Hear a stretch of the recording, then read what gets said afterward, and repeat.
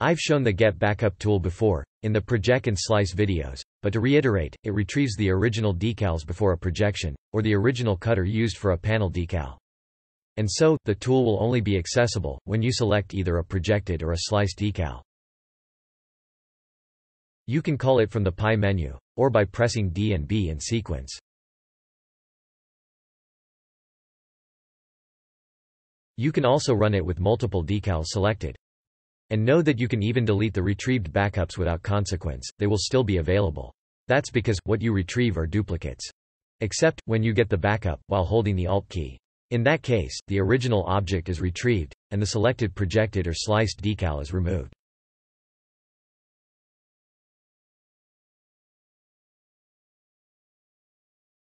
If you duplicate your objects, you can retrieve the backups in the same way, and they will appear in the expected location. You can even rotate and scale you objects, and the backups will still work as expected.